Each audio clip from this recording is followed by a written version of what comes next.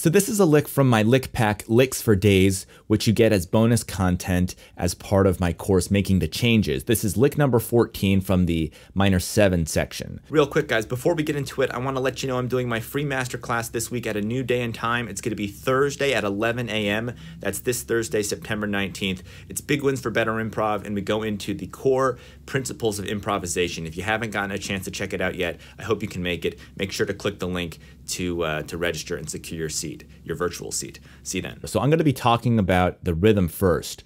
We're in 4-4, and what we do here is superimpose 3-4 by repeating this phrase that has three beats in it, one and two and three, and then it repeats one and two and three. And when you put these two rhythms back to back, this repeated phrase, you get what sounds like 3 4. 1 and 2 and 3 and 1 and 2 and 3 and 1 and 2 and 3. Okay, but actually it's 1 and 2 and 3 and 4 and 1 and 2 and 3 and 4 and 1. So it's kind of a cool uh, rhythmic superimposition there. 3 4 superimposed over 4 4. When we get to the third measure, we're pretty much back in 4 4 at this point. So let's talk about the pitches. We start by using the E minor pentatonic scale. D, E, G, A, and B. If you start that on E and you put the D on top, you'll recognize this as the E minor pentatonic scale. And what's cool about minor seventh chords, in addition to other chords, is that you can use multiple pentatonic scales over them. So if you are familiar with the A minor pentatonic scale and the E minor pentatonic scale and the B minor pentatonic scale, all of those work over A minor. Check this out. So here's A minor with an A minor pentatonic scale over it.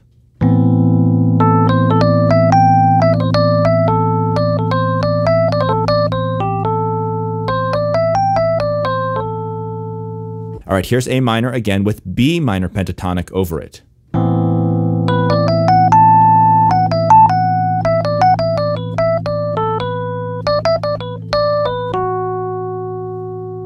Not bad. All right, now let's try that E minor pentatonic scale again over the A minor chord.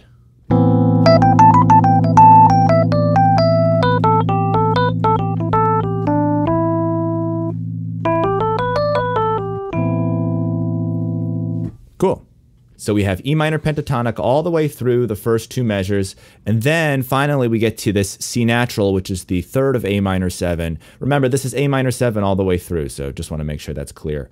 Um, but we hit that third of A minor 7 here, the C on the downbeat of measure 3, and that finally takes us out of the land of E minor pentatonic and puts us into a more traditional A minor setting. We have the 3 to the 2 to the 1.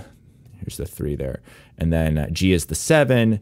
So if we pretend this is G major right here, you know, that looks like a traditional G major phrase with the one, the five, the three, and the two. So that's one way of analyzing it is kind of looking at it from G major. You could also look at it again from E minor. G would be the three of E minor, D would be the seven, B would be the five, and A would be the four. Or you could look at it as A minor and just see a 7 followed by a 4 to a 2 and then 1. So multiple ways of looking at these notes, just giving you some ideas of how you can analyze it on your own. A couple other things I want to point out here. The first is the grace note that happens before the B. It's an A. The A grace note is a whole step below the B. A lot of people do grace notes a half step below. I actually prefer a whole step below. So instead of you have I think it's a little slicker. Here's what it sounds like when you do a half step below.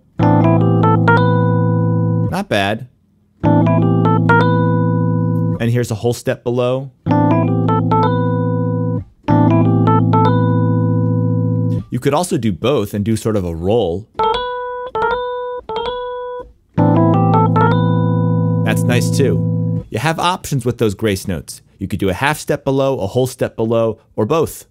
Also, if you guys have watched or listened to any of my content previously, you know I'm a big proponent of repetition, and that's exactly what we have here. You have the repeated phrase, and then you finally have the variation aka the surprise with that C. Now, that C is so effective because you're expecting B. So we set up the expectation of this B each time, and then on the third time, we go to C. So it's the classic one, two, four approach to anything, really. One, two, four, not referring to scale degrees or chords there, but rather just pattern and breaking the pattern. So, duck, duck, goose would probably be a, a more familiar way of me describing that. When I do this phrase multiple times, once I do it twice, you're expecting me to do it again implicitly on that third time. But if I don't do that, then I have your ears perk up and it's a surprise when I go to that C. It's a subtle variation, but I'm always talking about repetition and variation, and this is a perfect example of just that. Last thing I want to go over is at the beginning of this video, I played the lick. Just kidding, I played the lick.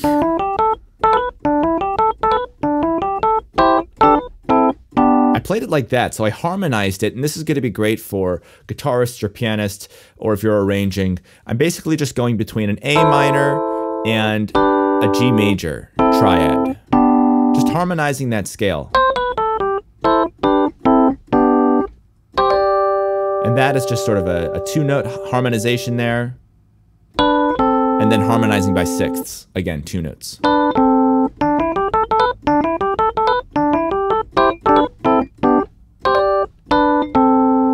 Just spiced it up a little bit for you. But again, this is going to work great on any instrument as long as you do the single note version that I demonstrated in the middle part of this video.